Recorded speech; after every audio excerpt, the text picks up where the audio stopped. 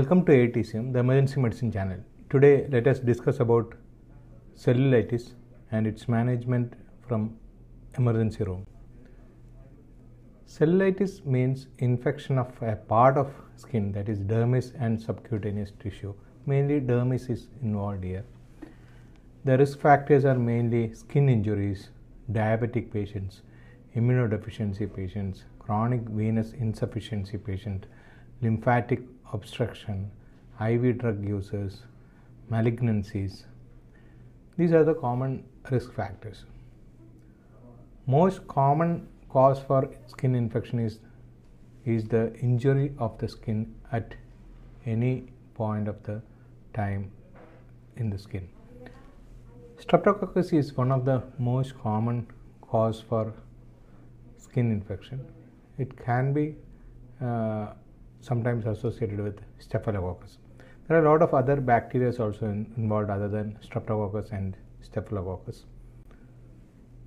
So that depends on the patient's clinical condition. In immunocompromised patients or chronic ulcer patients, gram-negative organism may replace gram-positive organism like E. coli, Pseudomonas, all these things. Opportunistic organism like fungus, viruses, non-tuberculous my- mycobacterium, helicobacter, cryptococcus, physidium, varicella, herpes. So all these things can also produce skin infections and inflammation. Periorbital cellulitis, Staphylococcus aureus, Streptococcus pneumonia, group A Streptococcus, buccal cellulitis, H influenza, perianal cellulitis, group A Streptococcus, mastectomy, lumpectomy, non-group A Streptococcus. Liposuction, post-liposuction, patients can have cellulitis, that is Streptococcus or Peptostreptococcus. Early post-operative wound infection, group A Streptococcus. Diabetic ulcers, aerobic gram-negative bacilli. So, when we discuss about cellulitis, the most common organism is always gram-positive cocci like Streptococcus and Staphylococcus. But a patient who is having immunocompromised state or chronic ulceration or chronic uh, uh, infection in the uh, skin, there is a chance of gram negative organism come into picture. So when we are treating about treating uh, uh, a cellulitis case, we should understand that in acute cellulitis, most of the time it is due to gram positive cocci like streptococcus or staphylococcus. A patient who is having hospital acquired infection or suspected hospital acquired cellulitis, then it is it can be gram positive okay but you have to remember about methicillin resistant staphylococcus. If it is a chronic lesion or immunocompromised status, we have to always think about gram negative organism also. This is mainly required for the treatment aspect. Now you can see here definitions. Erysipelas means epidermis is involved. Dermis infection you call it as cellulitis.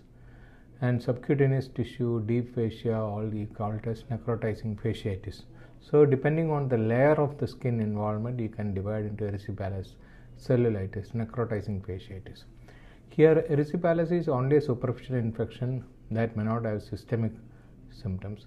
Cellulitis is little deeper infection that has got some systemic features like fever, tachycardia, all can be there. Whereas necrotizing, fasciitis is a deep infection, patient can have all toxic features like sepsis. Erysipelas is an infection of upper layer of uh, skin that is epidermis. The most common cause is Streptococcus bacteria, Streptococcus pyogenes. Necrotizing fasciitis is a rapidly spreading inflammatory infection of the fascia. Unlike other area infection, this spreads throughout the fascia and ultimately it leads to fasciitis and secondary necrosis, subcutaneous tissue infection, inflammation. All these things can be produced by necrotizing fasciitis. So, among all these three, necrotizing fasciitis is the most important uh, skin infection which can lead to sepsis, septic shock, all these things. Now, the diagnosis from emergency medicine is very, very important. It's mainly by clinical feature. We will not be able to diagnose it with uh, big investigations in emergency room. So localized, localized erythema, swelling, tenderness, warmthness. So all the signs of inflammation can be seen in that area.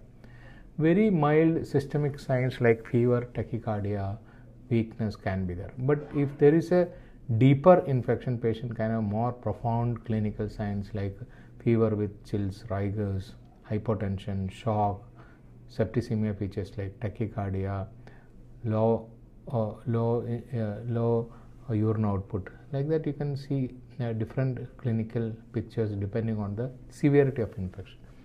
Now, normally, blood culture will not show any organism if it is uh, superficial skin infection. Less than 5% of the cases you can get a blood culture positivity. But if the patient develops sepsis, that means the bacteria from the skin enters to the blood circulation, you can get higher amount of blood culture positivity. It may vary up to 30%. Aspiration from the pus sometimes can uh, show uh, uh, growth, but generally it is not done in every patient. In emergency room, we don't try to uh, send cultures from the uh, uh, skin lesions. But if you are suspecting a typical uh, organism, like if the patient coming from a different hospital with chronic ulceration in the legs, before starting antibiotic, it is, it is better to take a culture from the uh, pus uh, in the skin. Normally, we don't do just sorry X-rays, MRI, CTs. All these uh, detailed imaging studies will not be done in routine erysipelas or cellulitis but there are some clinical scenarios we may have to do ultrasound x-rays of the uh, area of involvement mri of the area involved. Can be done in specialized situations. Like uh, a patient who is having cellulitis in the lower limb uh, when we do ultrasound we can see some uh, subcutaneous edema can be there or pus can be there or abscess can be there. But remember one of the close differential diagnosis for cellulitis is deep vein thrombosis. So when we do ultrasound simultaneously with same machine we can go for Doppler study also. So Doppler study can rule out venous thrombosis, deep vein thrombosis and we can also look for the patency of the veins or whether, whether any uh, any leaky veins are there or not we can find out. So main thing ultrasound is done to rule out actually DVT. Ultrasound may not be recommended in acute emergency rooms because it's mainly a clinical diagnosis. But to, rule out uh, a deep vein thrombosis, we'll have to do uh, ultrasound Doppler. X-rays and MRIs are usually not recommended, but if you want to make a diagnosis of osteomyelitis or necrotizing fasciitis, then we can go for further scans like MRI scan can be done. Otherwise, routinely they are not recommended. You can see the ultrasound uh, bedside ultrasound of the right leg cellulitis showing hyperechoic fat globules separated by hypoechoic fluid filled areas. So, fluid can be uh, filled in the fatty spaces, fluid uh, uh, can separate the fatty globules. So, that is called as cobblestone appearance. So, cobblestone appearance is the classical findings you get uh, in patients who is having uh, cellulitis. Now we can see the clinical features like redness, warmthness, edema, tenderness, poorly demarcated margins in contrast to erysipelas which has sharply defined borders. So uh, here the borders will uh, become uh, poorly demarcated. That is an important finding. So when the infection spread, spreads deeper, deeper, the demarcation can be uh, faint. Now, patient can have high degree fever, confusion because of toxic encephalopathy. Tachycardia can be there. It's a, it's a finding of uh, spreading infection. Tachypnea can be there, maybe due to uh, infection or uh, acidosis. Patient develops lactic acidosis because of the hypotension. Hypotension can be seen in many patients if the if they develop shock. Regional lymphadenopathy can be there in patient who is having infection in the legs. They can uh, see the inguinal lymph nodes. If the upper limbs are involved, axillary lymph nodes are involved. So, like that, lot of clinical findings can be elicited from the patient who is having cellulitis. Now, if you have a patient who is having complicated infection, like uh, when we see a cellulitis, most of the time it is confined to the skin only, but rarely patient can develop complication of that infection, the main important complication is spreading infection and toxemia that leads to shock like fever, hypothermia, tachycardia, hypotension. All these things can be there in patients who is having cellulitis with shock. Pain out of proportion to exam that is very very important. Edema, induration, pain extending beyond the area of skin involved. Bullae, cutaneous necrosis, tense edema, gas in the subcutaneous tissue, loss of sensation of the affected area, rapid progression despite antimicrobial therapy, deep purple maroon uh, discoloration of uh, area. All these things can be there in patient who is having cellulitis with complication. But remember, most important thing what we should remember in emergency room is whether the patient is going to shock or not. So you know you may be knowing about toxic shock syndrome. That is one of the complication of uh, severe cellulitis or deepening of the infection. Patient develops hypotension and shock because of the toxins produced by the bacteria. So remember hypotension, shock, tachycardia, acidosis all are very very important clinical findings. Necrotizing fasciitis again systemic toxicity, shock, pain out of proportion exam, severe edema, induration, pain extending beyond the area of skin involvement, bullae cutaneous necrosis, gas in the subcutaneous tissue. That is very very important. Gas forming organism can sometimes grow in the uh, infectious area. So we have to tackle with separate antibiotics if gas is found.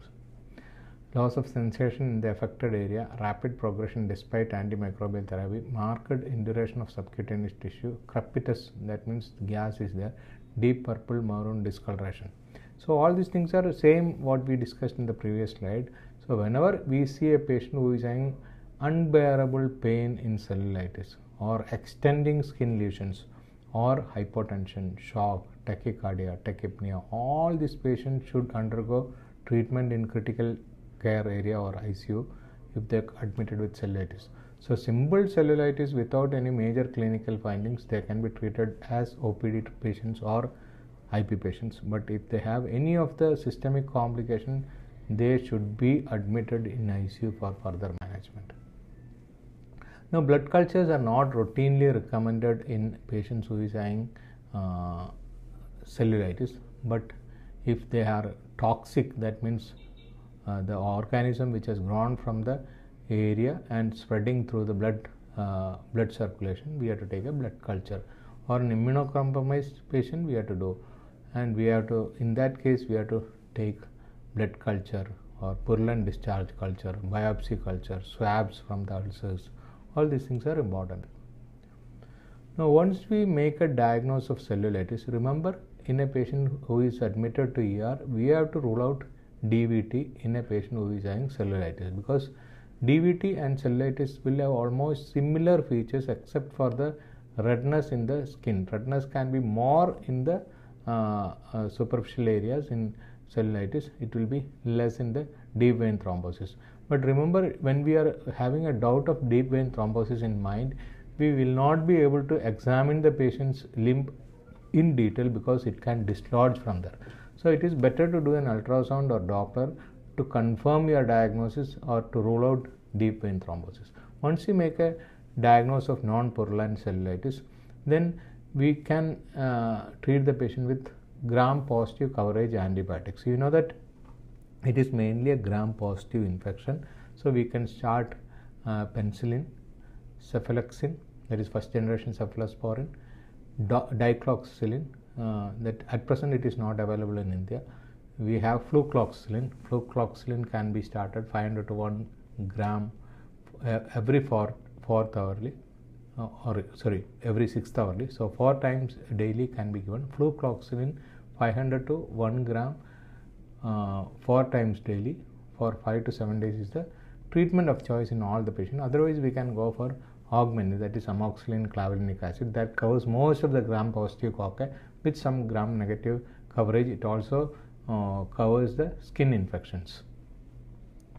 Now, clindamycin is another important drug which is used in gram positive cocci infection and it has got an advantage that patient if the patient develops toxin producing cocci, gram positive cocci, the toxin production can be controlled by clindamycin. So, if the patient is having any toxic features, we have to add clindamycin to the regime. So, the routine regime in a simple infection or a simple cellulitis will be amoxicillin clavulanic acid or uh. That flucloxacillin will be the advised choice because it covers both streptococcus and staphylococcus. It will not cover MRSA, but it covers MSSA. And clindamycin, which reduces the toxin production, so that also can be started. So, clindamycin routine dose is uh, 300 to 450 milligram uh, fourth hourly or 600 milligram TID. If we are suspecting MRSA, eh, that means if the patient is coming from a different hospital or if the patient has got multiple admissions previously or the previous culture showed MRSA, eh, then better to go for an MRSA coverage like clindamycin with cotrimoxazole or doxycycline or linezolid.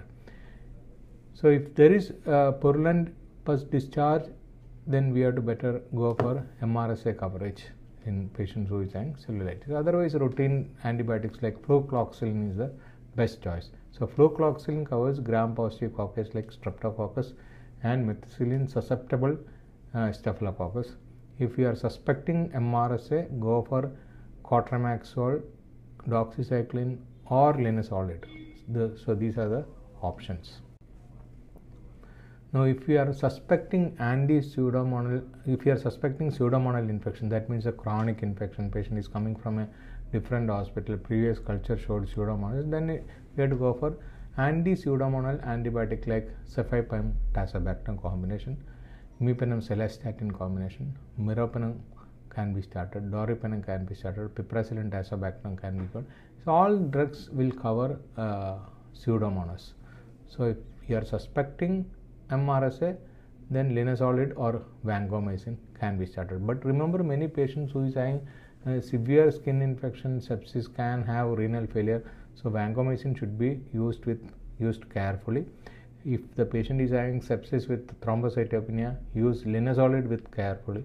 So because all these things are complication of the same drug, linezolid can produce thrombocytopenia, vancomycin can produce renal failure. So if already there is a pre-existing disease like that we should be uh, starting we should start these drugs very carefully.